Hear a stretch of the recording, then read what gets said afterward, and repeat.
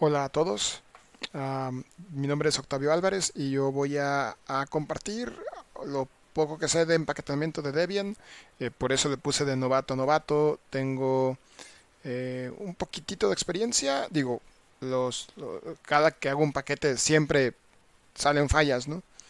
Entonces, este, creo que falta, falta mucho por, por, aprender, pero bueno, lo que sé eh, lo puedo compartir. Y esto eh, es también para, para poderlo hacer de la manera en como a mí me hubiera gustado que me, que, me enseñaran. Eh, en su momento las guías eran distintas y aunque son guías muy buenas, hay, hay algunos conceptos que no siempre uno va a llegar directo a la página que uno necesita saber para, para poder entender exactamente el siguiente mejor concepto que uno puede aprender. No sé si sea el mismo caso para ustedes con la guía del día de hoy, pero eh, quiero pensar que, así será. Ah, voy a tocar algunos eh, temas eh, de terminología importantes para poder entender bien todos estos aspectos de la, de la debianización de un, de un programa. Ah, que espero que, que, pueda permitir separar algunos eh, conceptos para no hacerlo para no hacerlo confuso. Ah, originalmente esto era eh, una propuesta de taller. Eh, dadas las circunstancias creo que será más bien un demo. Ah, sin embargo trataré de llevar una cadencia que permita que, que, ustedes puedan seguir las instrucciones en, en, su, en su computadora. Si no es en vivo, que sea después cuando vean el video, pero el chiste es que lo hagan para que así aprendan. Eh, yo creo, yo soy de la idea de que haciendo las cosas se aprende mucho más. Entonces, eh, traten de seguir lo que el día de hoy eh, voy a compartir trataré de llevar, insisto, esa cadencia. Lo único es que no voy a dar tiempo para instalar esos paquetes. Si gustan, aprovechen mientras yo doy la teoría para instalarlos, pero no, no, no voy a dar tiempo para esa instalación. Se, supone que ya, que ya están instalados en sus, en sus laptops. Solamente son cuatro. DHMake realmente no creo que sea necesario. Iba a contemplar HMake, eh, DHMake, pero ahora voy a utilizar DevMake y viene, con, viene incluido con los demás. Eh, creo, que, creo que sí.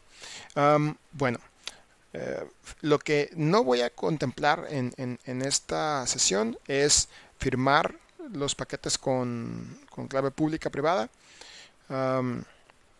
ni ecosistemas Python, Ruby, JavaScript, PHP, etcétera, porque tienen sus propios eh, juegos de herramientas, sus propias librerías, etcétera, que ah, yo todavía no los manejo, entonces tampoco creo que podría yo eh, vamos, poder compartir una experiencia que no tengo en ese tema. ¿no? Eh, va a ser un programa muy sencillo, en, hecho en, C, y va a permitir distinguir lo que es empaquetamiento de lo que es el programa en sí.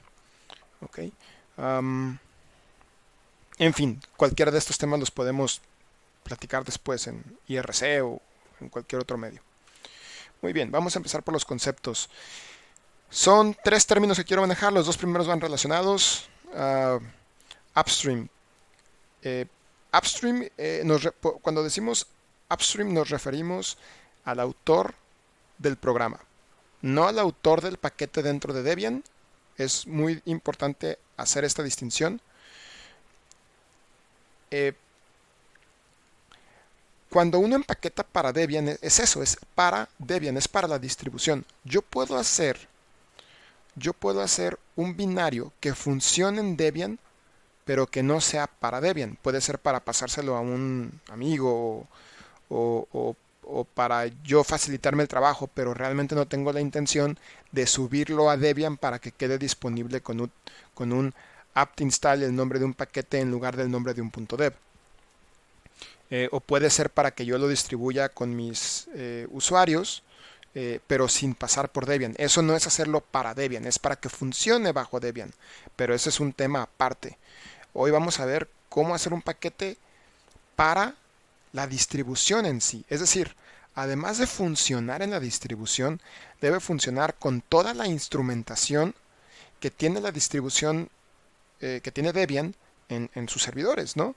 Ah, por ejemplo, no es lo mismo hacer un binario, un punto dev, así nada más, que tratar de cumplir el concepto de reproducible builds, de, que a partir de, poder, de que Debian pueda validar que el binario que se está ofreciendo corresponda perfectamente con la misma fuente. ¿Cómo se hace esto? Se regenera el paquete y debe dar exactamente el mismo binario. Entonces,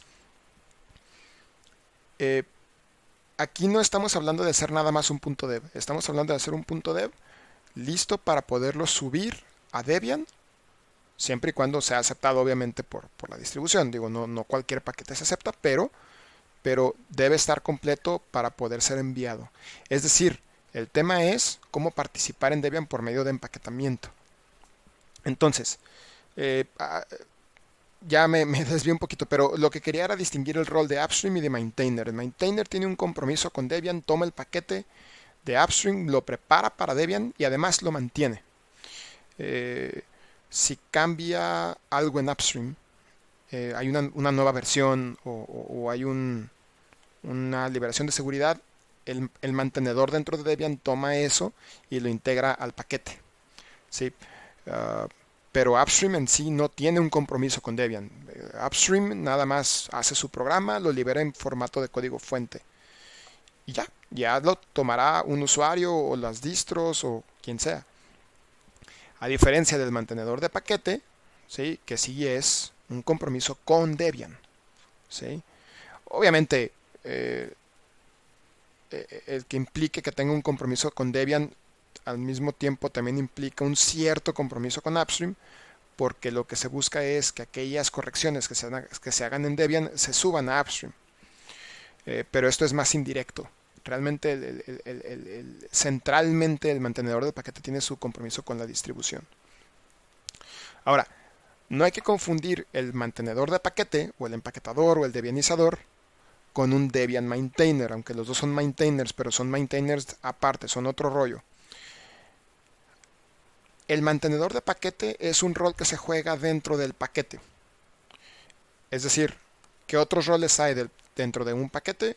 Pues está el que lo patrocina para que se, suba al archivo, el que lo utiliza, eh, upstream, por ejemplo, que no tiene nada que ver con el paquete, pero es de donde se origina el código fuente. Eso es en cuanto al paquete en sí. Pero un Debian Maintainer no es lo mismo que un Package Maintainer. Y hay que tener cuidado de no confundirse en esto cuando se están leyendo las guías. El Debian Maintainer es un rol dentro del proyecto Debian. Un Debian Developer, por ejemplo, tiene facultades para hacer modificaciones al, archivo de Debian o al acervo de Debian. Un Debian Maintainer únicamente puede modificar aquellos paquetes eh, bueno, solamente ciertos paquetes, no, no cualquier paquete, ¿no? Dice, ah, tú eres el mantenedor del paquete, te hacemos Debian maintainer, maintainer tú lo puedes este, corregir sin necesidad de un sponsor, de un patrocinador, ¿sí? Y hay contribuidores de Debian que no, o Debian contributors que no son, no tienen permisos para modificar el archivo, requieren de un sponsor para poder subir el paquete. Entonces, una cosa es el package maintainer y otra cosa es el Debian maintainer. Eh, un package maintainer, o sea, un paquete puede estar mantenido por un Debian developer, por un Debian maintainer o por un Debian contributor. De la misma manera como un Debian developer, por ejemplo, puede ser sponsor de un paquete, puede ser maintainer de un paquete o puede ser usuario de un paquete. ¿no? Entonces es, es importante distinguir estas dos áreas. De la misma manera como es importante distinguir upstream, el mantenedor de paquete, y el usuario del paquete. Sobre todo si, por ejemplo, ustedes tienen un paquete propio que quieren integrar a Debian, es importante separar los roles. Es muy fácil querer confundir upstream eh, con mantenedor de paquete si ustedes juegan los dos roles. Entonces, ustedes liberan su código como upstream en, en código fuente y en el rol de empaquetador de Debian toman ese código fuente y lo debianizan. ¿Qué significa eso? Lo integran con Debian utilizando las decisiones que Debian ya tomó para que funcione ese paquete en conjunto con el resto del sistema. Entonces, El tercer concepto es el archivo o el acervo de Debian. Yo le, pongo, le puse acervo porque eh, en inglés es archive y archive se entiende es como, un, como una caja donde se almacenan eh, carpetas y, todo eso. Eh, la traducción literal sería archivo, posiblemente sea, sea más como acervo, pero al mismo tiempo en México un archivo puede entenderse como la unidad de almacenamiento de un, que, va dentro de un directorio, eh, que yo he visto en algunas traducciones como fichero, no sé realmente cuál sea la traducción en, otras regiones. Eh, vamos a manejar archivo o acervo de manera eh, indistinta. Muy bien. así como Upstream libera su código fuente y le dice yo liberé la versión 1, 1, 2 o 3 o 3.1, lo que sea, eh, los paquetes de Debian también tienen una versión, pero está compuesto de dos, de dos este, fragmentos.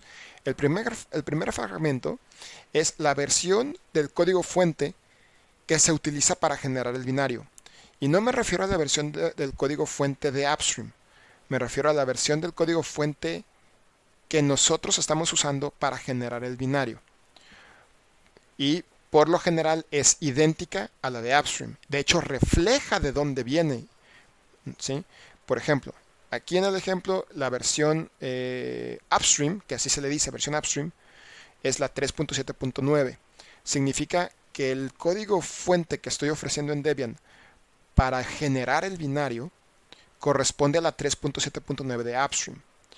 Ojo, si yo, vamos a suponer que uno descarga de upstream la versión 3.7.9 pero esa versión tiene algo que yo no puedo redistribuir por el motivo que sea una fotografía con copyright que no es redistribuible, no importa. Yo, si yo tengo que extraer esa fotografía para poder redistribuir el código fuente, entonces ya no es la 3.7.9, porque Upstream en su release 3.7.9 tiene la fotografía y nosotros no la vamos a redistribuir. Entonces para nosotros será 3.7.9 más DFSG. Es, es, una anotación que se le hace.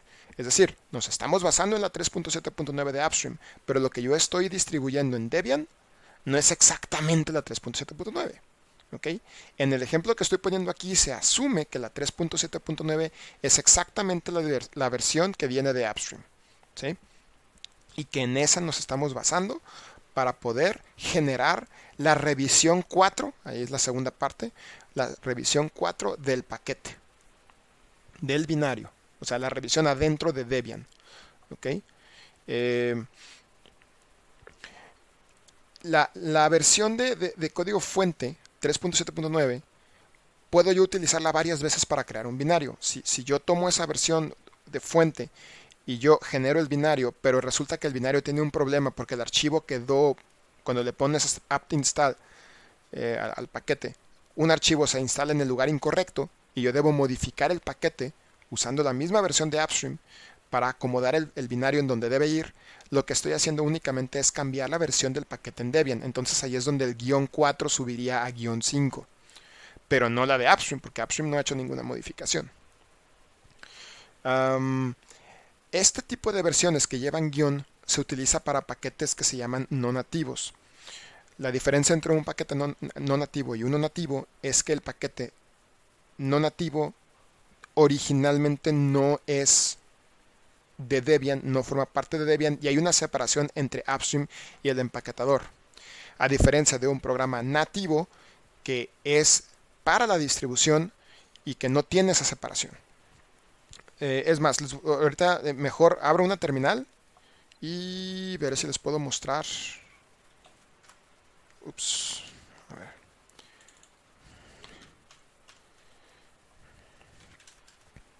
¿A qué me refiero con esto? Por ejemplo,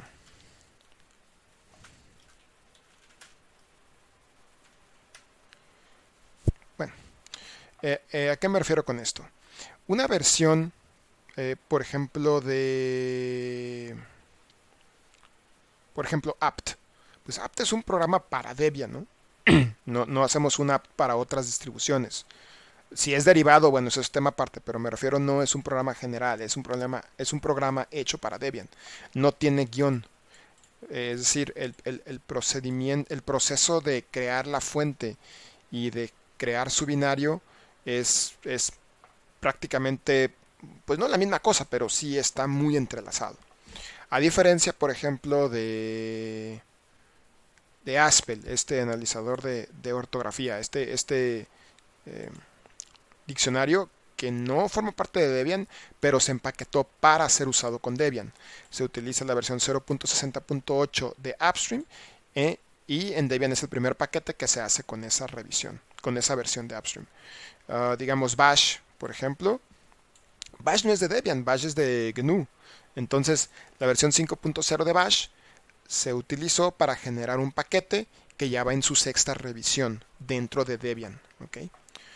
Eh, bueno, vamos a regresar a aquí. ustedes pueden, ah, no, perdón. Primero vamos a ver eh, un ejemplo de, de cómo las versiones deben ser ascendentes. O sea, una versión posterior Debian debe ser capaz de distinguir si un paquete es más nuevo que otro, si una revisión o una versión es más nueva que otra. Y para esto hay una convención. ¿Y cómo es? Que se hace un ordenamiento eh, de menor a mayor de los números y de los componentes eh, upstream, cada punto, cada guion, ¿ok? De, de, de, las versiones cuando se comparan unas con otras. Por ejemplo, aquí están abajo la, la más, eh, la más antigua y arriba la más reciente. En Booster, en, en la versión actual estable, salió la versión 12.3.1-3 y después hubo un parche de seguridad y le agregaron más dev 10 u1, o sea, update 1 para Debian 10. Este más está aplicado a la revisión, o sea, este más está en la parte del guion 3, no en la parte de upstream. ¿Sí? Significa que lo que se modificó fue la versión 3. No se convirtió en guion 4, porque si un día el maintainer de Debian quiere eh, sacar 12.3.1-4, causaría un conflicto y podría eh, no actualizarse correctamente un paquete al no, detectar que una versión es más nueva que otra. Después, por ejemplo, para backports, significa que alguien tomó la 1301-4 y se la trajo hacia backports para Debian 10. Pero, es una, pero la 1301-4 es más nueva. En el momento en que una persona, un usuario, quiera subir de booster a Bullseye, de, estable a, nuevo estable o a testing cuando Bullseye se vuelva estable, la versión 13.014 13.0.1-4 debe entenderse como más nueva y actualizarse a esa versión. Entonces, por eso los backports tienen esta tilde aquí, este, esta, eh, pues sí, la, el carácter tilde que le llaman, eh, con, la, con la distinción BPO 10 más 1, porque la tilde va antes que cualquier otra, que cualquier otra cosa. Entonces, la 13014 tilde BPO 10 más 1 se entiende como más vieja que la 1301-4. La tilde también se utiliza mucho para release candidates, betas, ¿no? Que, por ejemplo, si estoy en la si quiero empaquetar la versión 5, pero beta 2, es, ese beta 2 es antes que la 5 final, que nada más se va a llamar 5. Entonces, lo que lleva tilde va antes. Entonces, idealmente utilizaríamos 5 tilde y algo para indicar que va antes que el 5. Entonces, ah, y finalmente, bueno, en testing y en, y Unstable ahorita está la 1301-4. Va de menor a mayor en el caso de este slide. Si ustedes quieren comparar dos versiones porque tienen duda de si va antes, de si va después o si va después, pueden utilizar dpkg-compare versions. Ponen la versión 1, luego LT o GT, o sea, lower than o greater than, y una versión 2 y va a regresar un código de error 0 o 1. 0 es satisfactorio, o sea que sí coincide lo que ustedes pusieron ahí, y 1 si es falso. Entonces yo lo pongo de esta manera y efectivamente la versión 2495 más DFSG-5 es menor que la 24 que la 249, bueno, 2 es la era, eh, no me voy a meter con eso, que la versión 495 de FSG-5 más dev10.1, es decir, se le agrega el update, se considera una versión posterior. Si yo cambio el lower than por greater than, evidentemente pues es falso. Pero este DPKG compare version simplemente es aplicar el, algoritmo de ordenamiento de, de, de, de, decisión de si una versión es más nueva que otra o no, para que ustedes lo prueben. Es una herramienta útil esta, a veces son más complejas de lo que parecen las versiones. Eh, anyway, um, les recomiendo mucho leer el documento de la política de Debian eh, en este documento se describen los requisitos de un paquete para poder ser eh, candidatos a ser aceptados en el acervo. Es decir, si un paquete, si no está correctamente establecido el derecho de autor de un paquete, puede ser que Debian tenga problemas legales. ¿Por qué? Porque estaría redistribuyendo material que no debería ser redistribuible. Entonces, la política de Debian indica que, el archivo de copyright debe establecer correctamente eh, la información de cierta forma, ¿ok? Para poder ser analizado por herramientas de manera automática y detectar esos errores sin necesidad de la intervención humana. Entonces, eh, ¿qué debe llevar un paquete binario? Todo lo que diga la política de Debian actualmente está en su versión 4.5.02 y fue liberada el 28 de abril. Entonces, eh, se ve más o menos así, son como, híjole, no recuerdo si son 8, 9, 10 secciones. No son dos, definitivamente no son estas dos, son mucho más que estas, y, pero viene todo a detalle. Eh, les recomiendo que, la, que, la, que se vayan familiarizando con la, con la política, porque eh, poco a poco, porque no, no es un documento que van a leer así de, jalón, o sea, no, no, no, no, está tan fácil. Pero bueno, primer repaso es el programa GNU-Make. Eh, GNU-Make se utiliza en uno de los archivos que se utilizan para generar el paquete binario de Debian, que se llama rules. Internamente es un archivo de Make. Algunos de ustedes estarán familiarizados con Make. Eh, para quienes no, solamente voy a, mencionarlo de manera general, de forma que esto les permita a ustedes, este, pues nada más tener una, es eso, una familiarización. Y ya en su momento profundizarán en, cómo funciona. Pero a grandes rasgos, eh, es un recetario, ¿sí? Eh, GNU-Make lo que hace es seguir una serie de recetas para construir targets u objetivos. Esos objetivos dependen de otros objetivos.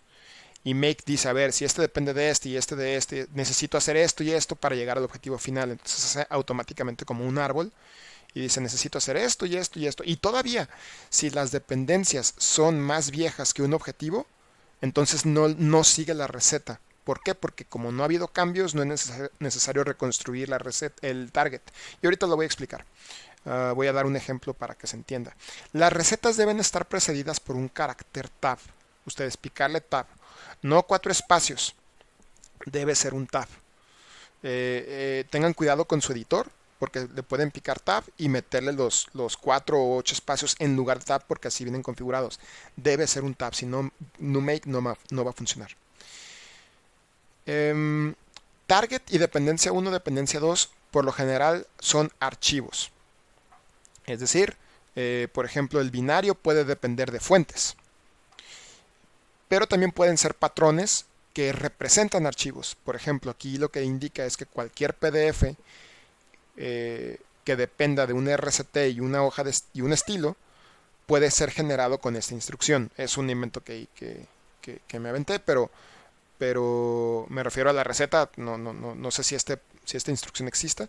Eh, pero si existiera, por ejemplo, si yo quisiera como target a.pdf y yo cuento con a.rct y el estilo, significa que GNUMake lo va a identificar y seguir esta receta. APDF lo va a poner aquí donde dice pesos arroba o moneda arroba y el primer, la primera dependencia la, la va a poner aquí. De manera que se va a construir una instrucción que se va a ejecutar para generar ese PDF. Muy bien, ejemplo, para que no quede todo en palabras y sea más difícil. Ah, si yo creo este recetario en un archivo que se llama GNU Makefile, que por lo general es el, nombre que se utiliza, entonces eh, yo, aquí yo, aquí en este recetario voy a indicar que para generar un saludo, un archivo llamado saludo, dependo de un archivo llamado nombre. Y la receta para construir ese archivo llamado saludo es escribir la palabra hola, sin un enter, nomás el puro hola, al archivo saludo y luego agregarle concatenarle el nombre, el, contenido del archivo nombre a ese saludo. ¿sí? De manera que si nombre dice Octavio, pues va a decir hola Octavio. Aquí hay un tab, recuerden, a la, izquierda. Control D es para terminar porque utiliza cat para crear el, archivo. Y la, forma de llamar make es make-f el nombre del recetario y el target que quiero construir. Si yo no le pongo el target, toma el primero que se encuentra en el recetario. Si yo no le especifico el recetario, entonces es GNU Makefile. Eh, yo podría simplemente haberle dado make, pero por ser explícito en el ejemplo, estoy poniendo todo completo. Y me dice que no puede crear nombre que se necesita por saludo. O sea, que para poder generar saludo necesita nombre y no sabe cómo generar nombre. Efectivamente, nombre no, no, existe y nosotros no le dijimos cómo generar nombre, le dijimos cómo generar saludo. Porque se supone que el nombre se lo damos nosotros. Entonces, pues correctamente no tiene nombre, no puede hacer saludo. Vamos a generar el nombre. Le estoy mandando a Octavio el contenido del nombre. Corro make otra vez. Y ahora sí sigue la receta. Eco n, eh, n hola a saludo y el contenido de nombre a saludo. Y me queda, si yo veo el saludo, me queda hola Octavio. Ese espacio está bien que no aparezca porque así lo definí. Eh, no me quise meter en problemas. Luego, si yo repito el mismo make, me dice saludo ya está actualizado. Is up to date. Entonces, no necesita ya generar saludo. ¿Por qué? Porque no ha habido cambios en el nombre. Si no ha habido cambios en el nombre, no necesito regenerar saludo. No va a cambiar nada. No voy a regenerar nada nuevo. ¿Para qué lo hago? Entonces, como un ejemplo, eh, ah, perdón, y esto lo detectó porque el timestamp de nombre es previo al timestamp de saludo. Saludo es más nuevo. Entonces yo voy a regenerar el archivo nombre con otro nombre, va a cambiar el timestamp y va a ser más nuevo y ahora sí, si vuelvo a ejecutar make, sí va a seguir la receta y ahora tengo hola tabo. Muy bien, ahora, parches. Yo tengo dos archivos, uno que cuyo contenido son 7 líneas A, B, C, D, E, F, G y archivo, es archivo 1 y archivo 2 es A, B, C, Z, E, F, G, es decir, la D en lugar de D le puse una Z. Son dos archivos separados. Yo le puedo decir al sistema operativo por medio de la, de la herramienta diff que me diga qué diferencia hay entre los dos archivos. Y me lo da de esta manera. Si yo le pongo diff-u, eh, es para decirle que use el formato unificado, es este que están viendo en pantalla. Entonces, me dice, si, ¿cómo le hago para, perdón, qué diferencia hay entre archivo 1 y archivo 2? Ah, bueno, mira, le quitas la D y le pones una Z, esa es la diferencia. Este se llama formato parche eh, o formato parche unificado, es lo mismo. Entonces, em, otra forma de interpretar esto es que lo que está en el menos está del lado del archivo 1 y lo que dice más está del lado del archivo 2 y lo que no dice ni menos ni más está de los dos lados, pero nada más me da tres líneas de contexto. No me da todo el archivo. Hay forma de sacarlo, pero no es, relevante ahorita. Otra forma de interpretarlo es que si yo al archivo 1 le quito la D y le agrego la Z, voy a tener el mismo contenido que archivo 2. Y efectivamente, si yo tomo el, el div y lo mando a un archivo llamado parche.div, porque a esta diferencia se le conoce como un parche, les digo. Y aplico el patch, por medio, el, parche por medio de la herramienta patch. ¿sí? Voy a decir parchando el archivo, archivo 1. Em, y si le pongo div-nu, archivo 1, archivo 2, es decir, dame las diferencias, pues ya no hay diferencias. Ya parchó archivo 1 y tiene ahora el mismo contenido que archivo 2. No se volvió archivo 2, no lo renombró. Adaptó archivo 1 para que tuviera el contenido de archivo 2. ¿Por qué? Porque eso es lo que dice el parche, para convertir archivo 1 a archivo 2. Entonces, si ustedes tienen un, no sé, un, código fuente de 10.000 líneas y le modifican una y se la quieren mandar al autor original, pues basta con que manden el puro parche, porque los dos parten del mismo principio. ¿Y cómo lo hacen? Obteniendo eh, el parche con div y lo aplican con patch u otra herramienta que trabaje con el mismo tipo de parches. Ahora, si yo le doy cat archivo 1, efectivamente aquí ya tiene una Z en lugar de una D. Ahora sí, empaquetamiento. Este nada más va a tener un slide, que es el flujo de trabajo básico, y nos vamos a ir a la demo, ¿ok? Para empaquetar, eh, hay muchos detallitos, muchos detalles. O sea, el paquete binario debe cumplir con un montón de cosas, el paquete fuente debe cumplir con un montón de cosas. Afortunadamente, hay herramientas de Debian que automáticamente reducen ese trabajo drásticamente. Ya tiene plantillas, este, cumple con lo, mínimo, detecta errores, ahorita lo van a ver. Pero esto es lo, el flujo más básico para no meternos en dificultades y se entiendan los fundamentos. primero se descarga el paquete. No le puse aquí cuál paquete. El paquete de upstream. ¿sí? Y eh, se descarga, bueno, y, se desempaqueta, ¿no? Dependiendo del caso. Ahorita van a ver por qué puede ser las dos cosas. Eh, se crean los archivos mínimos con DevMake. ¿Qué es eso de archivos mínimos? Adentro del código fuente del paquete va a haber un directorio que se va a llamar Debian. Y en ese Debian van a venir todos los parámetros para el paquete fuente y para el paquete binario. Entonces, eh, ojo, no hablo del paquete fuente que descargamos de Upstream, hablo del paquete fuente que se va a mandar a Debian, al archivo de Debian, al acervo. Porque Debian se manda el acervo y se manda el binario, se mandan los dos. Entonces, al crear los archivos mínimos, se crea ese directorio Debian y se crean los archivos básicos para poder generar un binario. ¿Sí? De manera que nosotros ya no los tenemos que crear desde cero, buscando una, o este, una plantilla o buscando un documento que me diga qué debe llevar. No, ya se crea una plantilla básicamente. Es más, DevMake hasta analiza un poquito el, paquete, la fuente de upstream y, los crea. Entonces eso ayuda muchísimo. Después ejecutamos dpkg-build package.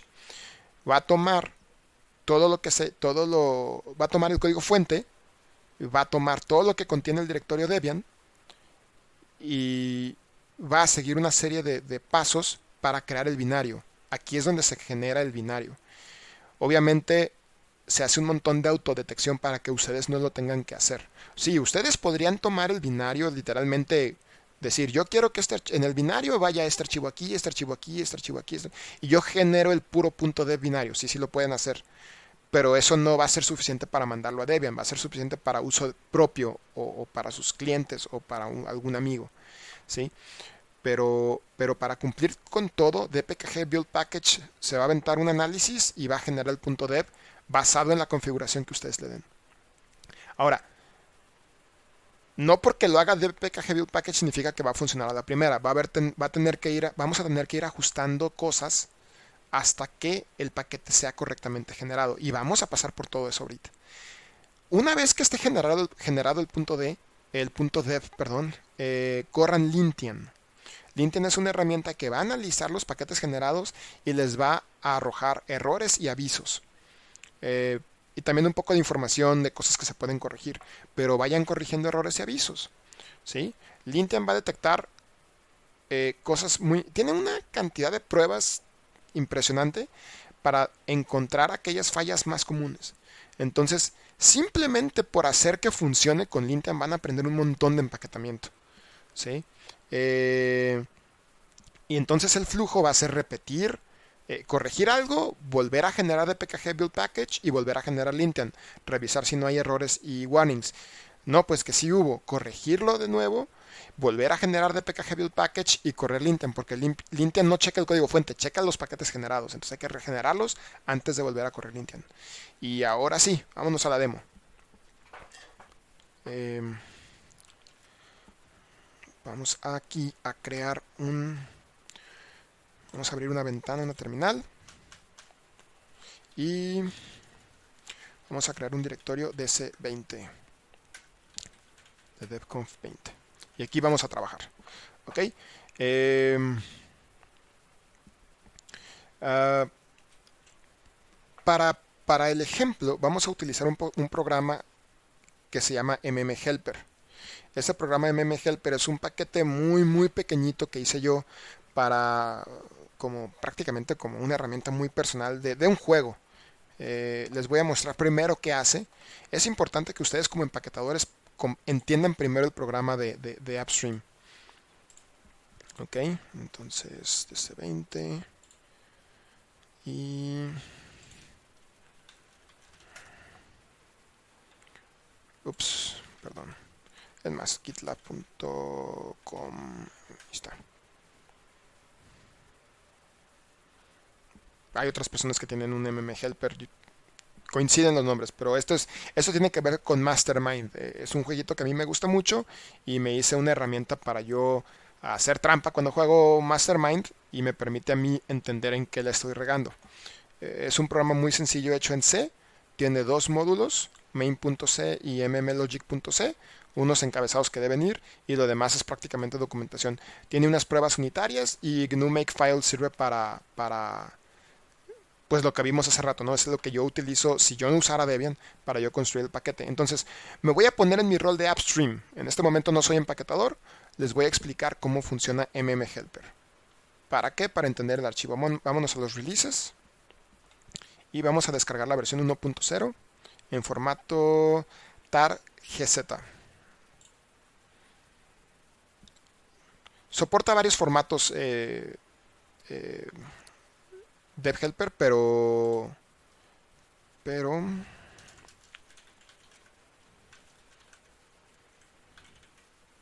Aquí estamos viendo que el archivo se llama mmhelper. Guión, uy, no se alcanza a ver.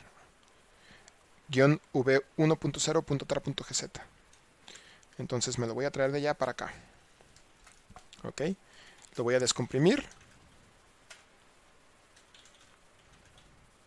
Y, insisto, aquí no estoy empaquetando, estoy explicando qué hace el programa para poderlo entender. ¿Cómo se compila? Bueno, vamos a ver qué dice el README. Aquí abajo dice que para compilar nada más escriba make y voy a obtener un binario llamado mmhelper. Make. Efectivamente. Ok. Bueno, parece que hasta algunas pruebas corrió. Ah, no, se las brincó. Muy bien.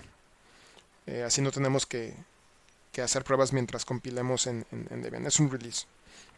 Entonces, ¿tengo mi mmhelper? Sí, efectivamente tengo mi mmhelper. Lo voy a correr y me dice que debo poner un código. Vamos a suponer, no voy a explicar Mastermind ahorita, pero el chiste es de que si ahorita tenemos, eh, eh, si yo estoy jugando y veo que dice rojo, rojo, amarillo, amarillo y es, la primera, es el primero y el segundo color, pues le pongo así, me, me arrojó un resultado, un peg negro y un peg blanco. Ah, luego jugamos Mastermind. este, y me da las opciones que todavía me quedan. Básicamente eso es lo único que hace. Entonces es, un programa muy sencillo. Son, son, es más, los, los, el, el, el código fuente son 104 líneas en uno y este otro son 81 líneas. Realmente es muy, muy sencillo. Entonces, ya sabemos qué hace mmhelper. ¿Qué esperamos de mmhelper cuando lo instalemos en Debian? Entonces, eh, le voy a dar make clean para recordar cómo, cómo venía directamente desde que lo eh, desde que lo descargué de upstream. ¿sí? Y ahora, vamos, ahora sí me voy a poner en mi rol de empaquetador ya no de upstream. Ya lo conocimos, ya sabemos, lo queremos empaquetar, ya sabemos qué hace. Entonces ahora voy a hacer el empaquetador. ¿Sí? Solo por repetir la instrucción lo, voy a hacer. Esto pues ya, ya está generado, pero lo primero que hago es eh, desempaqueto mmhelper. ¿Sí? Ustedes tienen que saber cómo desempaquetar un tarjeta. Y me meto a la carpeta de mmhelper. ¿Sí? Lo repetí simplemente por ser explícito, insisto. Entonces le pongo devmake. Devmake me va a crear el directorio Debian. Ustedes manualmente podrían darle mkdir Debian, meterse aquí a Debian, crear el archivo de control, bla bla bla bla bla. Eh, este, ay, ups. Vámonos de vuelta a la terminal. CD DC20. Sí. Sí. Eh, eh, crear el de copyright, insisto, ¿no? copyright y crear los archivos y luego darle dpkg dev, eh, eh build package. Pero pues hay que hacerlos a mano. Para evitar eso, vamos a utilizar vamos a utilizar devmake. ¿Sí? Devmake va a tratar de adivinar su, su paquete lo va a empezar a analizar. Mira, el paquete se llama mhelper, versión v1.0, revisión 1, porque lo está leyendo de aquí del directorio. ¿Sí?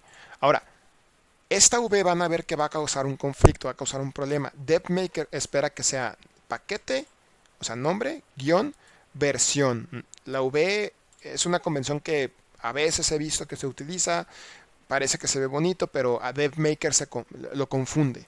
Dice, vamos a crear mmhelper para un paquete de Debian no nativo, efectivamente es un no nativo porque lo vamos a jalar de upstream y lo vamos a debianizar. Eh, estoy en el directorio de S20, esto es informativo meramente, y va a generar un paquete orig o sea, el original de, origen o de origin, eh, a partir del que descargué. ¿Por qué? Porque DevMake dice, no se le está haciendo ninguna modificación al código fuente, pues no es necesario reempaquetar todo el rollo, ¿no? Simplemente lo vamos a, a, linkear, a enlazar. Linkear. Em, es de tipo binario, no es una librería, no es uno de Python, es un binario para cualquier arquitectura, es decir, debería compilar en cualquier arquitectura. Esto es importante. a veces la arquitectura dice ANI, a veces dice all. Según entiendo y según recuerdo, eh, ANI es para aquellos eh, eh, para aquellos eh, binarios que se pueden compilar en cualquier arquitectura. Y all es, por ejemplo, para un lenguaje interpretado que no se necesita hacer nada, así como esta función en todos lados. Eh, si estoy mal, bueno, en la documentación va a salir. Ahorita no vamos a tocar ese, campo. Analizar el... Es, DevMake está analizando el, pues todo nuestro árbol de código fuente, detecta que los programas son C, MD, eh, o sea, las extensiones y el contenido. Estás checando licencias, estás tratando de revisar, de identificar qué tipo de licencia tienen nuestros programas. ¿Por qué? Para que sea más fácil editar el archivo copyright.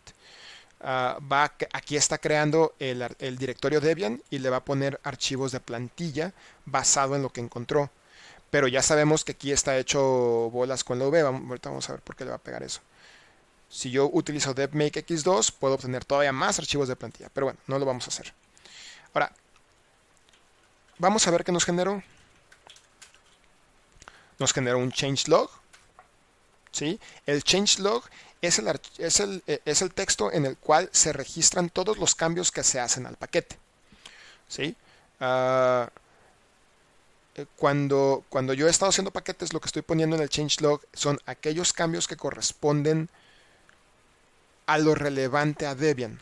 O sea, si Upstream libera una nueva versión, yo no le pongo aquí todo lo que trae la nueva versión, le pongo vino una nueva versión. Esto puede cambiar en la política, ¿ok? Entonces hay que estar muy atentos a eso. la, la versión de Upstream, cuando sea nueva, yo aquí nada más le pongo nueva versión de Upstream. Pero si yo inicialmente corregí algo de esa versión y le hice un cambio a ese parche que yo hice para Debian, eso sí lo documento aquí. Si yo, si yo, eh, por ejemplo, si hay un bug para un programa que estoy empaquetando y una nueva versión de Upstream corrige ese bug, eso sí lo pongo aquí. Nuevo Upstream release y cierra tal bug eh, y listo, ¿no? Ahora, ¿Qué significa este archivo? Es el nombre del paquete, la versión, este V se va a venir arrastrando porque yo la puse, debería aquí decir nada más 1.0-1. No había Vs cuando yo les este, expliqué hace rato la, versión de Debian. Y luego dice unreleased. Aquí donde dice unreleased debe ir la rama a la cual vamos a subir el paquete, o sea, unstable o testing, no, no testing, este eh, pues no sé si debe decir testing o, o, bullseye, ahorita que lo pienso. Pero por lo general se suben a, unstable. Todos los paquetes deben pasar por unstable antes de irse a testing. Solamente los que hacen seguridad o backport son los que pueden utilizar algo diferente aquí. Ahora, eh, la urgencia es baja, no me voy a, meter en ese tema, eso está explicado en, en otros documentos. Initial release y cierra un bug necesariamente un initial release, o sea, la primera vez que hacemos un paquete debe cerrar un bug. ¿Por qué? Porque el procedimiento en Debian es que para poder empaquetar algo necesitamos tener un bug registrado que se llama intención de empaquetamiento, un ITP, intention to, intent to package. Entonces, una vez que nosotros lo vayamos a subir, cerramos ese, eh, cerramos ese bug. ¿sí? Todos los initial release deben cerrar un bug. Hay casos excepcionales que no me voy a meter. Y luego, Octavio Álvarez, o sea, ¿quién es el autor? Aquí debe ir mi correo electrónico y DevMake no supo cuál es mi correo electrónico. De hecho, me sorprende que haya sabido cuál es mi nombre, no sé cómo lo supo, pero bueno, eh, vamos a, ahorita corregir eso para que venga el dato correcto. Ahora, cuando DevMake está asumiendo que vamos a crear la versión 1.0-1, bueno, en este caso V1.0-1, y esta de aquí es de donde se va a sacar toda la versión, desde el último entry desde la última entrada del changelog. Es lo que dpkg dev uh, build package es donde va a buscar con qué versión estamos trabajando. Lo va a tomar de aquí. Entonces es importante tenerla a la versión correcta. Ahora, control. Esto se conoce como un control file. Es eh, tag valor, tag valor, ¿sí? Pero, es, pero son párrafos. Aquí hay un párrafo y aquí hay otro. ¿Cómo funciona? ¿Cuál es el formato general? Párrafos separados por líneas en blanco, ¿sí? y cada párrafo es un paquete. Entonces, aquí estamos hablando del paquete fuente. Les decía, a Debian no nada más se sube el binario, también se sube la fuente. Y la fuente hay que generarla porque a lo mejor tenemos que manipular la fuente que viene de upstream. Entonces, Debian no asume de dónde lo descargué, no va y lo descarga, no nada. Yo le digo, esta es la fuente que estoy utilizando y este es el binario que generé. Source, mmhelper, section unknown, esto lo vamos a tener que cambiar prioridad opcional, maintainer, aquí vuelve a faltar mi correo electrónico y voy a utilizar DevHelper con, con compatibilidad 12, a ver si alcanzo a mencionar ese tema. Y dice homepage, inserte el upstream URL, o sea, de dónde obtuve el paquete. Si yo dejo esto así como tal, pues esto es un texto de plantilla. Lintian me va a decir, tienes textos de plantilla todavía, no lo puedes subir con textos de plantilla Debian. Entonces tienes que corregir eso. Lo vamos a dejar así y al ratito que nos arroje el error lo vamos a arreglar. Package mmhelper, esto ya es el binario. Architecture any, multi-arch foreign, aquí no estoy todavía muy familiarizado con esta línea. Y depends significa de cuáles paquetes depende este paquete. No dije nada nuevo. Es decir, mmhelper para funcionar necesita que esté instalado qué. ¿Ok? Es tan sencillo en el caso de mmhelper que no se va a necesitar nada, pero un paquete pudiera necesitar que otro funcione. Por ejemplo, si yo estoy haciendo un editor de fotografías y necesito guardar en formato JPG, pues muy probablemente necesito la librería que sabe cómo escribir el formato JPG y mi programa editor de fotografías va a depender del libjpg. Y esto se enumera aquí en el depends. Y finalmente la, la, descripción. Esta descripción es la que aparece cuando le dan app show, por ejemplo, app show rake. Y description es esto y viene una descripción muy corta y luego una descripción larga. Observen que la descripción larga empieza con un espacio aquí. Siempre va a empezar con un espacio la descripción larga. ¿sí? Y, y, cuando hay y una línea en blanco se debe escribir por medio de un punto. Porque si no lo hiciéramos así, entonces pensaría que es un cambio de párrafo y vamos a empezar a delimitar otro paquete. Entonces, eh, el formato general de un control file en líneas largas es... Eh, eh, perdón, en descripciones largas es empezar con un espacio y si hay que meter una línea en blanco es espacio, punto y se continúa. ¿Qué otro archivo hay? Copyright.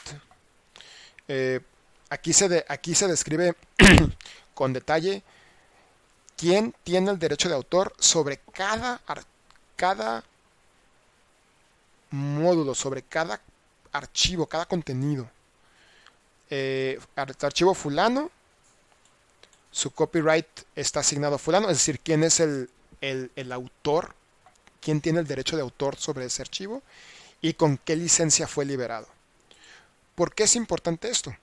Porque si nosotros lo declaramos correctamente, Lintian o Debian nos podría ayudar a detectar si hay licencias incompatibles dentro del mismo archivo. Y aquí también podemos establecer archivos que debemos excluir, pero ese es tema aparte. Este archivo está descrito en aquí. Si yo me voy al navegador y entro a este, perdón, a esta guía, aquí viene la sintaxis y el significado de cada la sintaxis del archivo y el significado de cada campo. Debe tener un formato, upstream name, upstream contact, source es opcional, bueno, todos estos son opcionales, disclaimer, pero viene un ejemplo también de un archivo válido. Eh, files Copyright License. ¿sí? Entonces, estos archivos, todos los que están bajo este directorio, su copyright es fulano y mengano, y la licencia para estos archivos son esas tres licencias. A lo mejor es un archivo eh, con licencia, así como hay licencias duales, también puede haber tres licencias para un mismo archivo a elección, ¿no? Y entonces yo aquí ya delimito, eh, describo, perdón, a detalle las licencias, tal cual como viene el texto legal. ¿Ok? Y aquí viene otro ejemplo. Eh, tal vez eh, vean cómo, cómo sigue el mismo formato que un archivo de control. O sea, tag, contenido, tag, contenido. Y cada párrafo viene separado por un espacio en blanco. Files, Copyright y License describe que todos los archivos están, eh, su autor es Ula Upstream. los nombres están chistosos para delimitar el rol que cada quien juega. Todo lo que está adentro de Debian es GPL versión 2 por parte de, Daniela Debianizer. Eh, todos los parches, o cierto parche lo hizo Daniela Debianizer, eh, pero ese está liberado bajo otra licencia.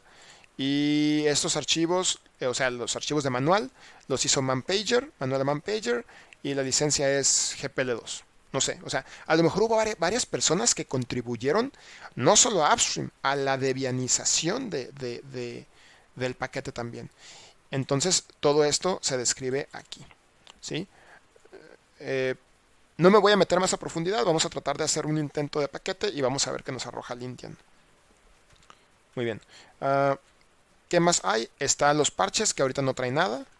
Nada más está este archivo que se llama series, que pues, no es un comentario nada más, hay que quitarlo. ¿Qué dice README Debian? README Debian es un archivo en el que se describe aquellas, eh, aquellos datos sobre el programa que no vienen de Upstream, que son específicos para Debian. A lo mejor en, la versión de Debian, eh, a lo mejor Upstream dice que el archivo está, debe estar en el home y nosotros lo pusimos bajo home diagonal local, no sé. Entonces aquí le podemos poner en, la edición de Debian, eh, estamos utilizando el directorio local porque estamos siguiendo la jerarquía estándar, no sé. Entonces, todo es, todas esas funciones que difieren de upstream se tienen que documentar en readme.debian. Porque esto va a acabar colocándose en usr share doc y el nombre del archivo. Vamos a poner, bueno, rake no lo, ah, sí tengo rake. Aquí, eh, changelog.debian, bueno, esto no trae. Pero vamos a ver si tenemos otro bash. readme.debian. .gz. ¿Sí? Bash configuration for Debian. ¿Sí? Para eso se utiliza el readme.debian. ¿Ok? Ahora, rules. Este es de los más importantes junto con los que empiezan aquí con la letra C por coincidencia. Rules es Rules establece las recetas con las cuales se va a construir el paquete. DPKG Build Package va a tratar de adivinar y eh, va a tratar de adivinar este em, la mejor forma de construir el paquete pero hay cosas que son genéricas para Debian y hay cosas que no son tan genéricas, que dependen mucho del upstream, o sea, de las cosas específicas del código fuente. Entonces, eh, va a mandar llamar unas reglas va a mandar llamar unos targets de make, como les explicaba hace rato. Entonces, aquí automáticamente, eh, ustedes normalmente tendrían que ponerle, por ejemplo, rules clean. Ahorita vamos a ver cuál les llama, pero clean y cómo se limpia un paquete, eh, build y cómo se construye un paquete. Pero vamos a utilizar dev helper que nos va a ayudar a hacer las acciones que por defecto funcionan. Y si no funcionan, nosotros vamos a modificarlas. Ahorita lo vemos. Luego, ¿qué hay dentro de source? Ah, pues nunca he entendido muy bien esos archivos, pero vamos a verlos. El formato del source es 3.0 Quilt. Ah, tiene muchos años que no cambia este formato. Eh, e, este source format es el formato que se sigue aquí adentro de Debian. O sea, patches está dentro del directorio patches y ese tipo de cosas. Ustedes nada más pónganle 3.0 Quilt y pues es que no ha cambiado en años. Entonces, este, si viene uno nuevo, un 4.0, bueno, habrá que migrar al nuevo formato, utilizar otras herramientas, etcétera. Pero por lo pronto 3.0 Quill tiene ya rato. Y opciones locales, este nunca lo he usado, esto es nuevo para mí. Ah, después habrá que estudiarlo. Ahora, Watch. Este Watch es, en este archivo se describe cómo le va a hacer Debian, o sea, los servidores de Debian, para encontrar versiones más nuevas de Upstream. O sea, vamos a suponer que el Debian es la versión 3.1 y Upstream tiene la versión 3.2. Esa 3.2 la publica en un directorio de releases. Entonces Debian puede ir y, leer ese directorio de releases y avisarle al empaquetador, oye, ya salió una versión nueva para que la empaquetes y te avisa. Y también sirve para extraerla automáticamente y no tengas tú que ir a mano, descargarla, etcétera, etcétera. Eh, básicamente este archivo de watch es utilizado por una herramienta que se llama uscan, ¿sí? Eh, que bueno, ya en su momento a ustedes les tocará revisar. Ahora, ok, todo eso lo generó DevMake. Aquí no hemos hecho más que generar eso. Lo único que yo quisiera corregir ahorita es la versión y el correo electrónico. Porque ya vimos que no quedó bien. Debian changelog. Esta V no, no está correcta. De entrada voy a tener un problema. Porque la política dice que debe empezar con un número. Y aquí debe ir mi correo electrónico. Entonces voy a borrar todo ese directorio de Debian y lo voy a regenerar otra vez con DevMake. Y voy a utilizar la opción... Vamos a utilizar las siguientes, pero pero no al principio, para que vean cómo vamos a ir descubriendo cosas. Eh, vamos a utilizar la A para decirle de dónde viene el tarjeta. Vamos a utilizar el nombre del paquete, que va a ser mmhelper. La versión de upstream, que va a ser 1.0, no v1.0. La revisión, que va a ser guion 1. Bueno, aquí le ponemos nada más la 1. Eh, el tipo de... No, ese no. Y el correo aquí va a estar. Aquí debería decir Octavio Álvarez, pero para no hacerlo más largo, este, como lo detectó bien, así lo voy a dejar y el, correo electrónico que es, eh, bueno, ahorita lo voy a poner ahí. Y vamos a utilizar guion E y guion U, que son los que están mal. Entonces, devmake. Ah, perdón, primero hay que borrar también esto que hizo. Y ahí está. Devmake e octal dc20.alvarez.org y la versión de Upstream es 1.0. Dice, no encuentro un archivo que se llame mmhelper v1.0 1.0 porque ahora como ya no encontró la versión piensa que el nombre del paquete es mmhelper-v1.0 y no es el caso entonces le vamos a poner que el nombre del paquete es mmhelper ¿sí? Volvemos a lo mismo, no encuentra mmhelper-1.0 tarjeta. Entonces yo puedo venir aquí y renombrarlo. ¿sí? Pero ojo, cuando lo desempaquete, me va a querer, me va a volver a generar uno que se llama guion v1.0 en lugar de 1.0 y no va a poder cambiar al directorio. Entonces tampoco me va a servir. Lo que voy a hacer es poner decirle que el archivo que voy a buscar está en aquí. Sí. Y ya a ver qué pasa. Ok. Hizo varias cosas vamos a ver qué hizo. Ok, dentro de donde me tuvo que haber creado Debian, me creó todos estos tres otra vez. Significa que DevHelper trató de hacer lo que yo esperaba que hiciera en el directorio anterior. Entonces, para no meternos en problemas, vamos a borrar todo mmhelper aquí y vamos a volver a llamar devmake diciéndole que aquí está. Y ahora sí. Nos metemos aquí. Ya tiene el nombre correcto. Ya generó el orig con el nombre correcto aunque hace referencia al upstream original y aquí ya tengo Debian. Y si yo veo el changelog, ya viene mi correo. Ya viene la versión correcta. ¿Sí? En el archivo de control... En el archivo de... De control de copyright. De readme, por ejemplo. Ya viene mi dirección. Ok. Ahora, vamos a hacer de package build package. Así de, así de fácil, sí, así de fácil. Sí. O por lo menos vamos a intentarlo. y está saliendo un chorizo de información.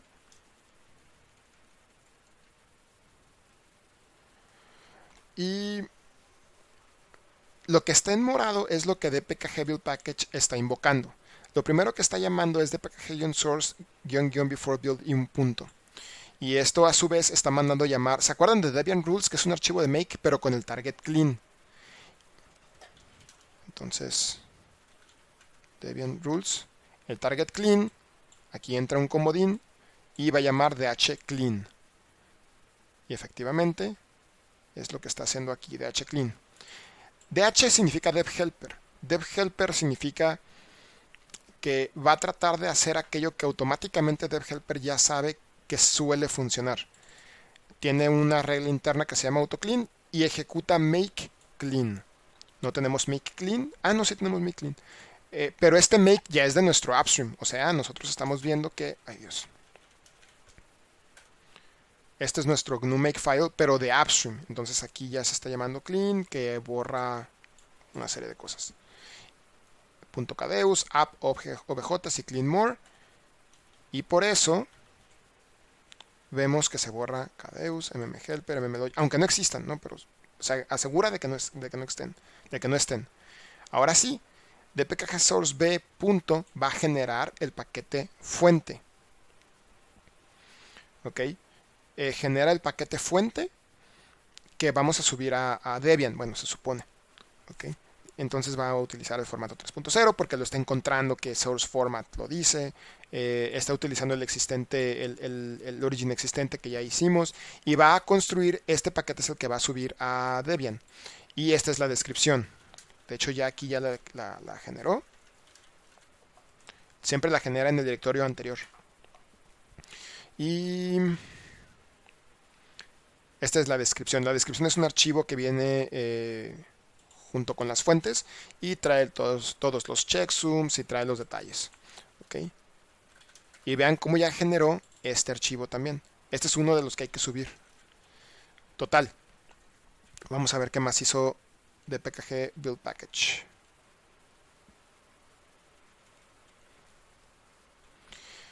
Ya una vez que generó el archivo fuente, ahora sí manda a llamar rules build y este es el que genera el binario. Se corre de hbuild por lo que decía el makefile y corre unos aquí que no sé qué son. Bueno, algunos sí sé que son, pero no, no, no se utilizan ahorita bueno, digamos que, por ejemplo, estos, no sé si se han fijado que a veces cuando descargan un programa directo desde la fuente, tienen que darle punto diagonal configure o punto diagonal, eh, ¿qué es? Eh, autoreconf o autoconf, no, no estoy muy seguro, pero hay que darle instrucciones de ese tipo y ya eso genera el make y ya le dan el make. Entonces, si estos detectan un configure, corren el configure de cierta forma, etc. Pero en este caso no hay, es puro make. Entonces, auto build manda a llamar el make, ¿sí? Y aquí es lo que vimos hace rato. Ya está ahora sí compilando. Mandó a llamar el make de upstream para, eh, vamos, de la fuente original, para construir eh, el binario de mmhelper. Y luego viene eh, fake root, fake root Debian, Debian rules binary. Ah, según yo esto ya estaba Ah, no, este fue build. Este fue construir el, no el binario, perdón, me equivoqué. Eh, Debian Rules Build es compila el programa, ¿sí? Y binary es crea el, ahora sí el punto de binario. Una disculpa. ¿Qué va a hacer? Dice, ok, ya tengo todo el programa. Voy a correr make install en el paquete fuente, o sea, según como lo manda upstream, para que se instale y yo y DevHelper va a revisar qué fue lo que movió todo lo que haya movido, de, o sea, todo lo que haya instalado en un directorio aquí, eso lo va a meter a un paquete. Es muy buen approach, no siempre es lo, ideal, pero puesto que la mayoría de las veces va a funcionar, pues es, bueno tener esta herramienta, la verdad. Y aquí vamos a tener el primer error, que dice usr local helper directory. ¿Esto por qué se está ocasionando? Porque al yo descargarlo de las fuentes, por lo general los make instalan sus programas en USR local. O sea, en USR local bin. Aquí es donde debería venir. ¿Sí? O sea, si yo le doy aquí un make install a mmhelper, me lo tendría que copiar ahí. Si yo le doy sudo make install, me lo debería copiar ahí. Porque ahí es donde van los archivos que no, fueron instalados a través del sistema de paquetes del sistema operativo de Debian. Entonces, lo que está pasando aquí es, vean, mkdir, o sea, mi make, el make de upstream, está creando un directorio que se llama usr local bin dentro de... Yo estoy ahorita aquí, ¿no? Dentro de este directorio, mmhelper 1.0. dentro de Debian también, crea un directorio llamado mmhelper, que es como si fuera el root, y aquí está creando este directorio. Ahí es donde va a analizar DevHelper. Y va a copiar el archivo generado binario ahí, pero yo no lo quiero ahí, lo quiero que lo quiero que lo copie a bin. ¿Por qué? Porque cuando yo le dé apt install no me va a crear un archivo en local en usr local bin, lo va a copiar a bin nada más. Entonces, lo que debo hacer es que cuando haga el make install lo instale en el lugar correcto. Eso es lo que yo debo hacer. Mi primera tarea como empaquetador va a ser que se instalen los archivos en el lugar correcto. En el lugar correcto para Debian. Este es un lugar correcto cuando no es para Debian. Entonces, y bueno, me marca un error que aquí no tiene mucho sentido, pero ese es el origen del error. ¿Cómo le vamos a hacer? Pues tenemos tres formas de, hacer esta corrección. La primera y la, que voy a recomendar es que aquí en donde dice eh, en el archivo rules, bueno, las dos, dos opciones se pueden hacer en rules. La primera es, bueno, hay que entender antes el make de upstream. Cuando yo le doy make install, estoy editando el archivo new makefile de el código fuente del autor. ¿Ok? Recuerden, estoy, aquí es donde Debianizo, este es el código fuente original, estoy editando new makefile. ¿Sí? Entonces, para el target install, cuando yo doy make install, trata de ejecutar este target, trata de, de hacer esta receta. ¿Sí? mkdir p, que es lo que vimos hace rato, y un copy. Entonces trata de instalarlo el directorio destdir, diagonal, o sea, variable destdir, variable prefix y bin. Esta es una técnica común. Destdir significa el directorio donde va a ser la raíz de donde lo vas a instalar. O sea, normalmente no iría nada en desdir. Si yo lo descargo directamente desde Upstream, va a ir en la raíz de mi sistema, literalmente el sistema. Y luego un, un prefijo dentro del directorio raíz que va a ser usr local y bin. ¿sí? Pero Debian, que va a simular que está instalando algo en otro directorio, ese va a ser su desdir. Y adentro de desdir tiene que ir a usr bin. O sea, el prefix en lugar de ser usr local debe ser usr. Entonces ya sé cómo le voy a hacer tengo que cambiar este prefijo para que en lugar de ser usr local sea usr. Afortunadamente en este makefile, eh, esto significa asignale el valor usr diagonal local a la variable prefix siempre y cuando la variable prefix haya venido vacía.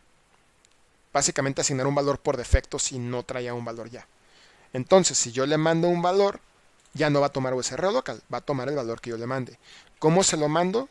Vean, si yo le doy make clean, aparte, no dpkg package, make. Eh, voy a trabajar directamente con las fuentes de upstream, make, ah, ah, pues make. Y luego make install, va a tratar de copiarlo a usr local bin. Pero si le doy prefix igual a usr make install, o mejor dicho, se ponen después creo, prefix igual a usr, Ahora sí me lo está creando en USR Bin. Va a tratar de, crear USR Bin y de copiar el mmhelper a ese directorio. Entonces, esta es una posible opción, es una posible solución. Yo me puedo ir aquí a Debian Rules. Perdón, ajá. Me puedo ir a Debian Rules y hacer lo que se conoce como un override. ¿Qué significa? ¿Se acuerdan que cuando se Voy a correr build, package otra vez nada más para ver cómo se llama el target que estamos utilizando.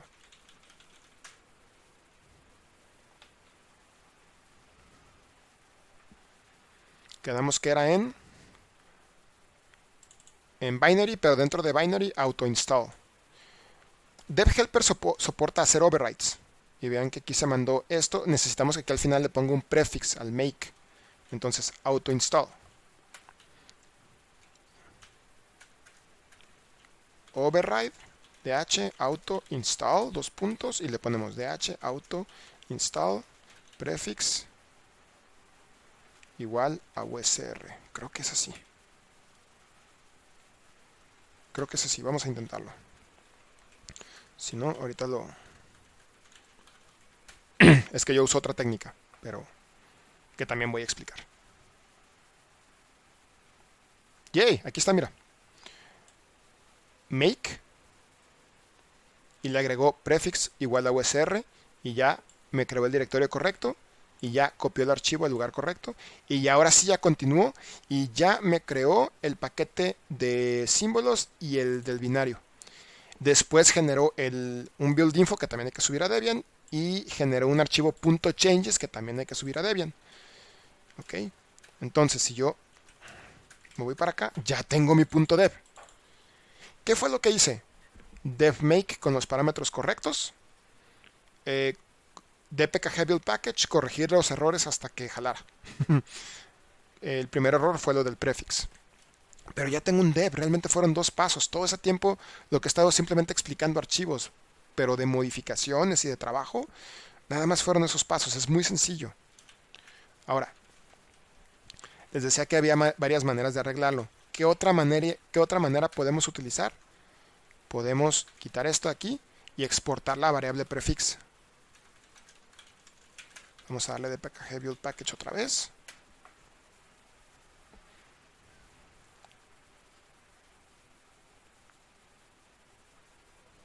Y de hecho aquí estamos viendo, ya no viene aquí en la, línea de instrucciones, eh, en la línea de comandos, ya no viene la variable prefix. La está mandando por medio del ambiente como una variable exportada. y, se, y, se, ve porque el resultado es que si está creando el directorio correcto, no es usr local bin, es usr bin y está copiando mmhelper a usrbin.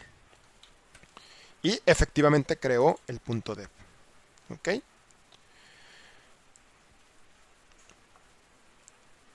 Vamos a evaluar una tercera forma de modificar. No es muy recomendada, pero voy a aprovechar para hacer el primer parche. ¿okay? Entonces voy a editar rules para quitar nuestra, el cambio que yo había hecho ya lo dejamos como estaba. Y lo que voy a hacer, porque a veces va a ser necesario, es modificar el código fuente de Upstream por medio de un parche. ¿Ok? Voy a editar el GNU Makefile directamente y, y se me ocurre que si, que si no le mando la variable prefix, que es lo que voy a hacer, no mandarle nada, pero en lugar de tomar USR local tome USR. ¿Ok? Entonces lo voy a hacer cambiando directamente Upstream pero dpkg build package me va a mandar un error. Me va a decir, oye, hay cambios local changes detected. Local changes detected. Se modificó este archivo. Es importante que todos los cambios a upstream se guarden, se declaren, vamos a decirlo así, en un parche. Aquí dice, tú puedes integrar los cambios con dpkg source-commit. Vamos a ejecutar esto. Es más, antes de ejecutar, vamos a ver la lista de cambios. Cat. Y efectivamente vemos que este es nuestro cambio. ¿Qué decía? Que usáramos dpkg source-commit. Hasta aquí ya nos da la instrucción.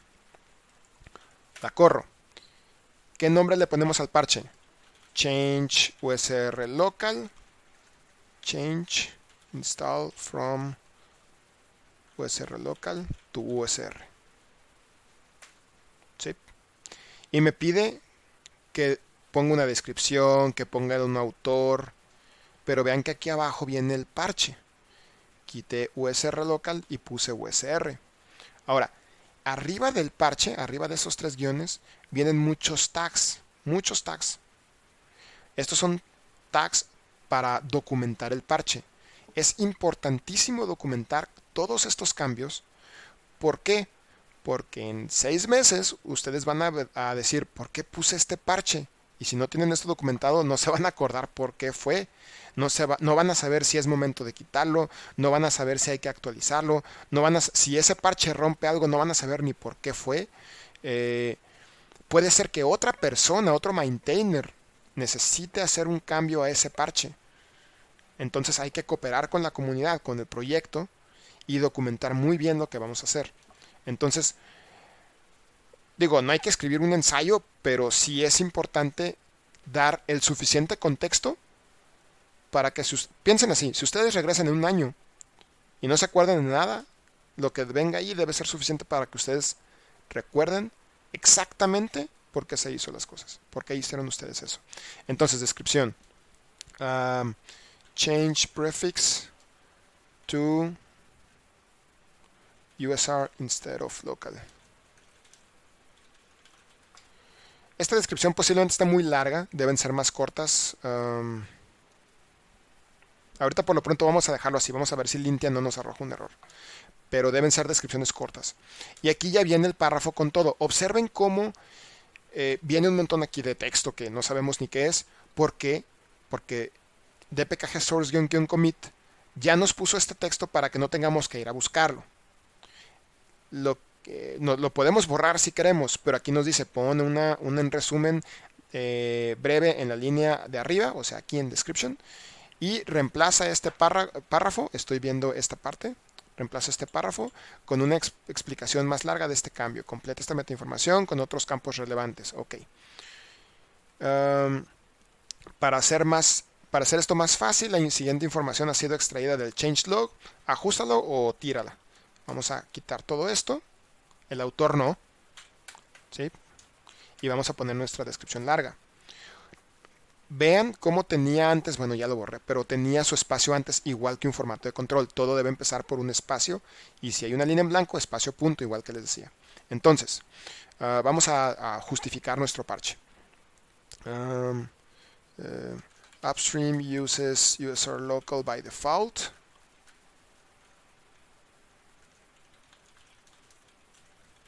To install files.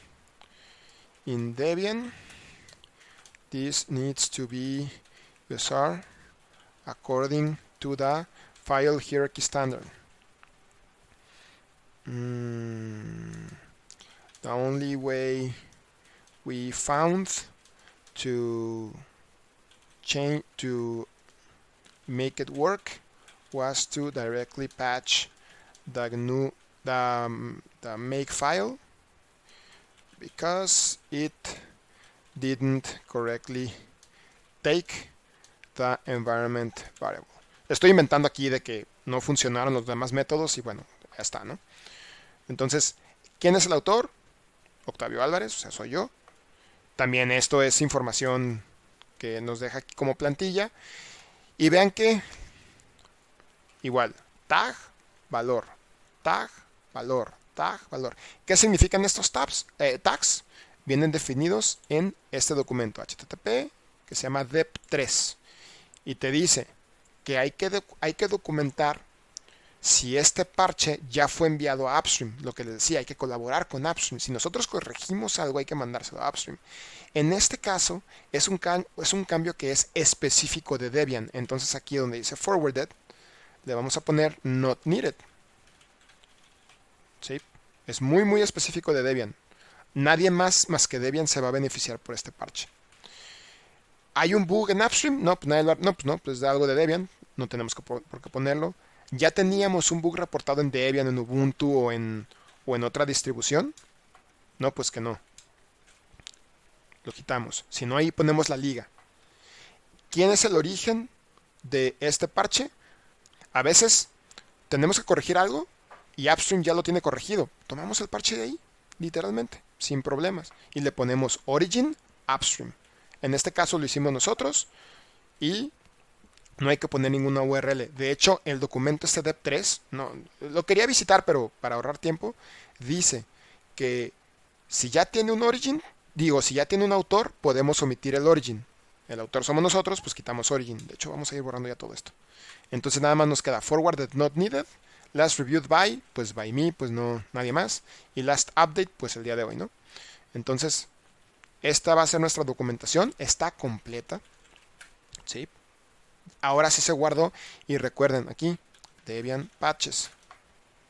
¿Sí? Ahora sí. Aquí está nuestro parche. Es literalmente lo que escribimos. Y esta es la serie de parches que hay que instalar para poder compilar. dpkg build package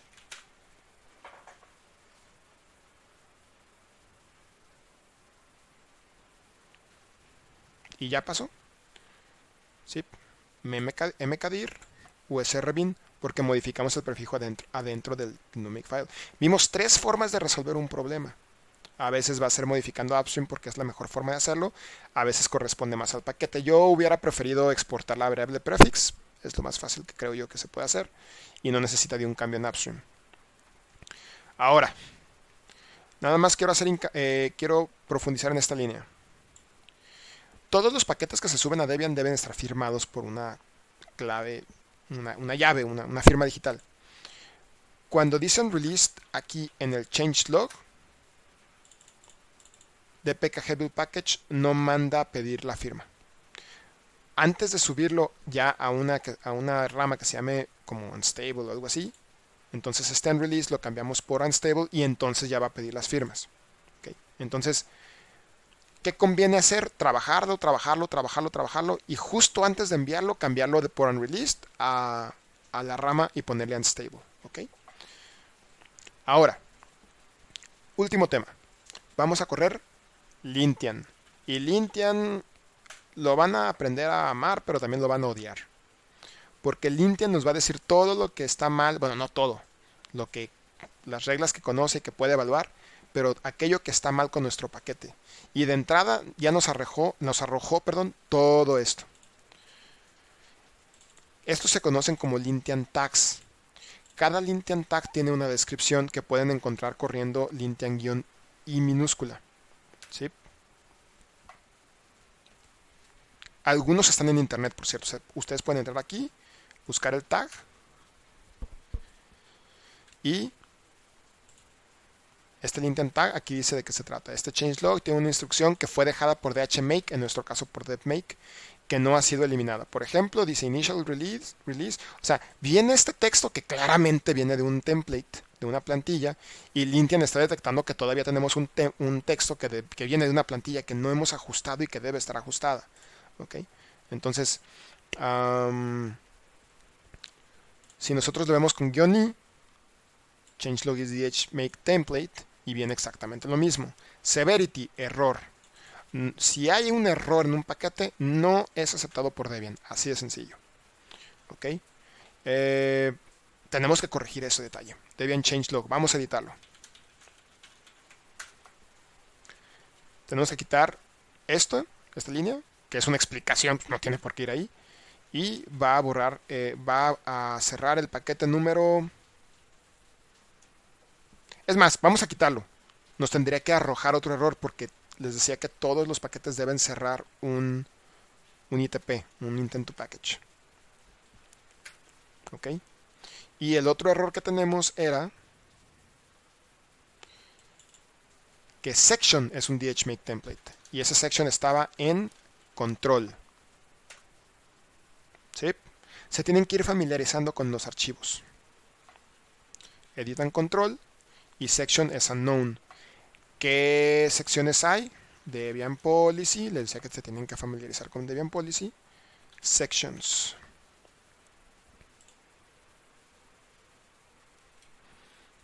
Sections, aquí está Sections. Y viene admin, climono, com, database, debug, devel, doc, editors. El mío está relacionado con juegos le puedo poner games. Nada más que les adelanto, los games no se instalan en USR Bin, se instalan en USR Games. Eh, eh, pero al mismo tiempo no es un game. Linten me va a arrojar un error porque no está en Games y le puse que la sección es Games. Sin embargo, ah, también yo lo debería poder corregir por medio de un parche. No me quiero meter en eso por cuestiones de tiempo, pero por lo, y, por eso por lo pronto le voy a poner MISC. Pero lo que debería hacer es ponerlo en Games y corregir upstream para que instale en Games, ¿ok?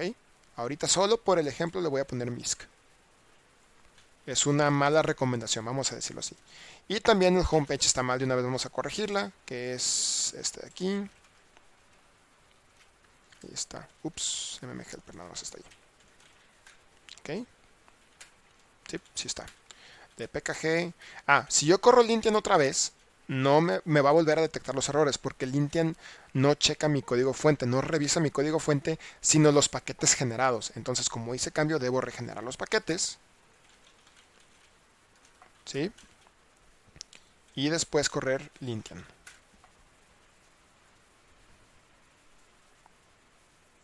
Si su paquete es muy grande, tal vez les convenga arreglar varias cosas.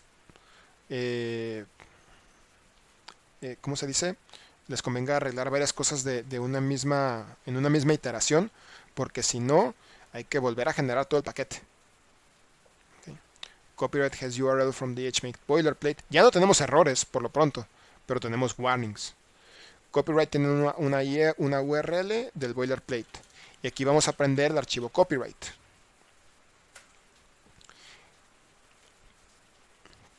que, les decía que era Files Copyright License, Files Copyright License, File Copyright License y al final License para, los, para todas las licencias. Entonces, Upstream Name, mmhelper, Upstream Contact, pues voy a hacer yo, supongo. Y voy a utilizar la dirección que tengo para, eh, para GitLab, porque soy Upstream, o sea, yo, esa es mi dirección de Upstream. Esa es la dirección del Upstream, que en este caso resulta que también soy yo source. Aquí tenemos que repetir la, URL que pusimos. Y hacer un double check con license check. O sea, nos recomienda este, esta instrucción. Vamos a... Aquí dice lo que está dando a entender que hay archivos que no tienen copyright ni license. Entonces, este... Eh, yo lo que voy a hacer aquí es suponer, suponer que como hay un archivo license aplica a todo el proyecto. Entonces, eh, pero vamos a revisar si no hay otros archivos que sí tienen license. Esta licencia es Afero General Public License, o sea, una AGPL versión 3. ¿Sí? Entonces, estos tres que sí tienen licencia son AGPL versión 3. El GNU Makefile es BSD. Bueno, eso no me acordaba yo, pero bueno, ahorita. Y ya, es todo lo que se encontró. Entonces, realmente todos los archivos son AGPL versión 3. Vamos a ponerlo así: files, asterisco. Vamos a decir que copyright, la sintaxis de la línea copyright es año, persona eh, y, contacto. Creo. A ver. Yo ya tengo aquí en bookmark. Ah, Creo que lo renombré sin querer. A ver. Rename, edit. Dep 5, copyright. Machine Readable, este es. ¿Y en qué estábamos? En el formato de la línea eh, eh, autor. ¿Cómo se llamaba? Copyright.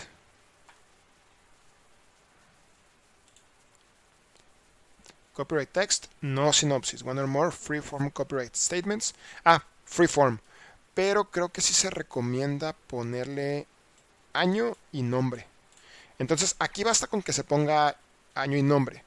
Entonces, pero yo puedo aquí ponerle una dirección o de correo o algo. De todas maneras, aquí arriba ya viene el upstream contact. Entonces ya no tiene caso. License. AGPL 3.0 only es la que estoy utilizando aquí. ¿Ok? Así nada más. Y yo más abajo voy a poner license. De hecho, aquí voy a ponerlo. Voy a, voy a, hacer, voy a hacer trampa. Y, y le voy a poner license AGPL 3.0 only. Ustedes tienen que ir aprendiendo los formatos de todos esos archivos. ¿ok? Pues recuerden que ya tenemos un dev aquí. Entonces, no make file, ese sí tiene, ese sí es este, ese sí es BSD. Y le vamos a poner 2013.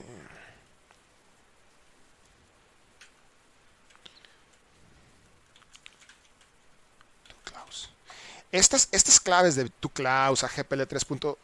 Zero Only vienen de una SPDX se llama Sí. Vienen de una especie de estandarización llamada SPDX. Y aquí es donde vienen todas las claves. Por ejemplo, la Afero GPL versión 1.0 or later lleva esta clave. La Apache License lleva Apache esta clave y así. ¿Ok? Entonces, se ponen estas y al final lleva la license. Yo no voy a poner la BC 2.0 para que me arroje el error Lintian, ahorita lo vamos a ver. Vean cómo la licencia sigue la sintaxis de, de iniciar con espacios. ¿Ok? dpkg build package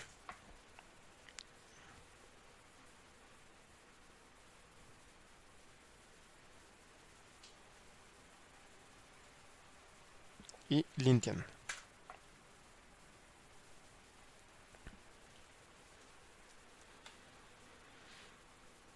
Ya cada vez son menos. Ya estamos limpiando nuestro paquete. Al menos en lo que Lintian está detectando. Pero ahorita me van a odiar. Initial upload. Closes no bugs. ¿Se acuerdan lo que les decía? Debian changelog. Debe decir closes el número de ITP. Vamos a suponer que ese, que ese ITP fue el 975.327. Okay. Y falta un license en el copyright, la BC2, lo que les decía. Declaré una licencia BC2 que tiene nuestro paquete, pero no puse el texto de la licencia. Vamos a ver si la puedo conseguir aquí rápido. SPDX PSD2 Klaus.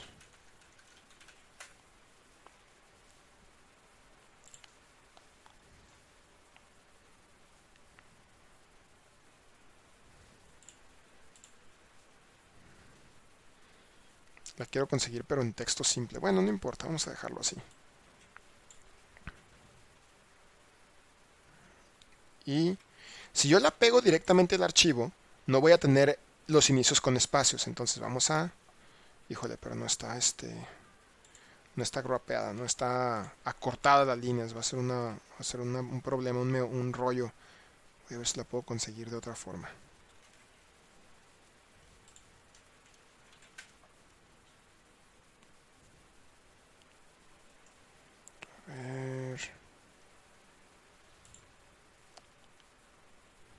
Este es otro rollo también. A ver si la puedo... Ah, creo que vienen de bien.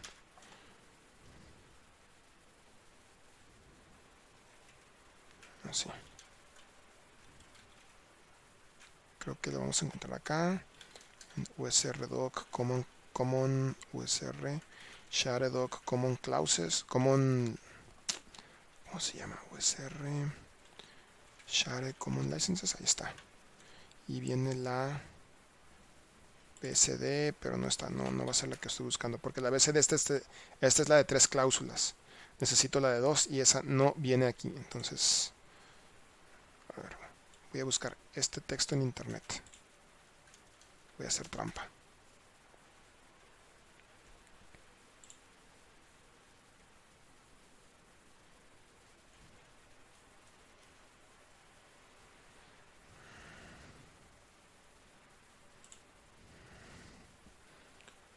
Si no, yo la puedo cortar, pero... Ah, aquí creo que viene. Esta es la original, la de 4, aquí va a venir. Y la de 2, aquí la voy a encontrar. Creo que aquí está lista. Es todo. Y... Ok, ya está. Ahora esta, esta sí le puedo pegar. Nada más le meto un espacio al principio de cada línea.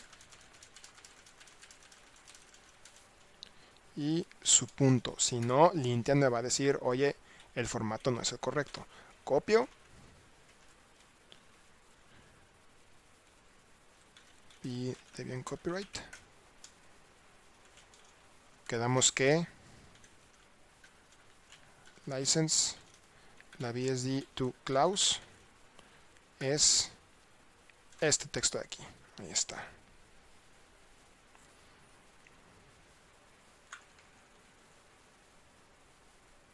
¿Qué estamos haciendo? Estamos siendo cuidadosos al momento de declarar cómo funcionan nuestras, eh, nuestras licencias, eh, la parte legal, que es muy importante. No queremos meter a Debian en un problema.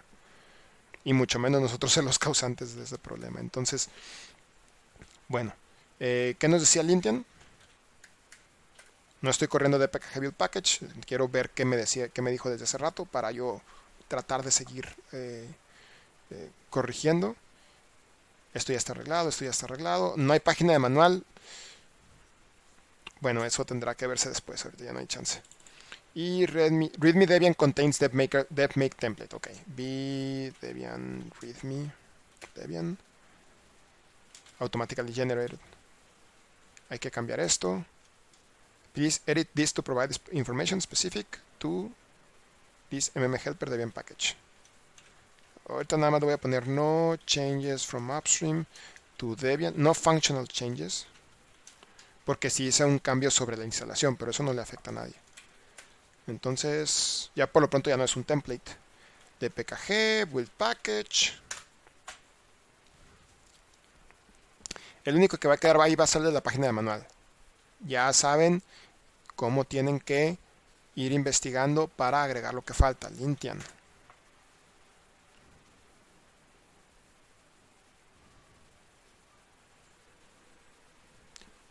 Listo. Ok. Ahora, ¿qué hay adentro? Vamos a ver qué hay adentro de su punto dev. Eh, contents.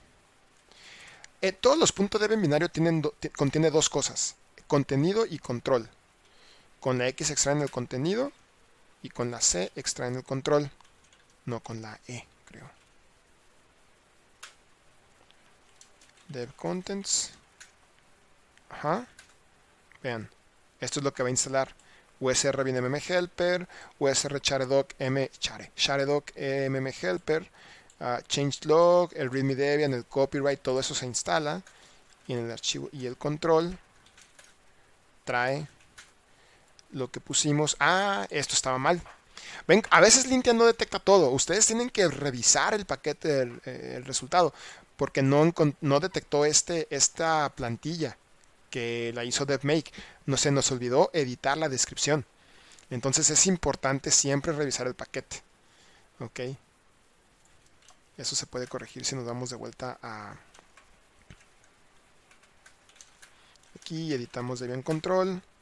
Aquí está. Tenemos que, no, pues mmhelper es un eh, tool, to, eh, tool to aid in, MM, in mastermind solving. Igual, como les decía, hay que cambiar este MISC por games y ajustar todo lo demás. Uh, if you want to cheat in Mastermind, use this tool to find the remaining uh, valid guesses, vamos a suponer. Y eso se va a ir cuando hagamos de build package, se va a ir para allá. Pero les digo, hay cosas que el no detecta. Ustedes tienen que hacer, eh, hacer el trabajo de, ok, voy a, no sé, montar una máquina virtual con un Debian limpio, instalarlo a ver si mis dependencias están correctas.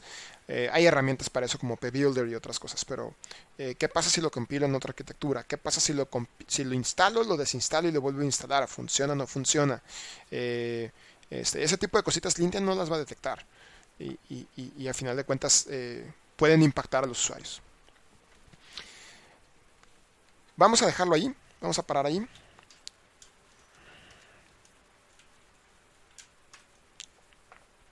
Por mi parte es, todo. Em, eh, no sé si 1.45 creo que ya era con preguntas, así que estoy dejando dos minutos para preguntas nada más.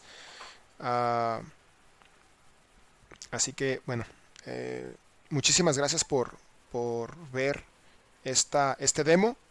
Espero que pueda servir para los que están en este momento eh, viéndolo en vivo, pero también para, para quienes quedó pendiente algún detalle lo puedan regresar y, volverlo a, consultar. De cualquier manera yo voy a estar disponible en IRC por correo electrónico, esa es mi dirección, me pueden contactar para cualquier, para cualquier este, pregunta que tengan al respecto. Muchísimas gracias. Muchas gracias, Octavio. Ha sido un taller increíble. Y bueno, pues desde Guadalajara, desde México, Octavio nos ha compartido este gran taller sobre empaquetamiento en Debian. Y bueno, ahora vamos a pasar a las preguntas.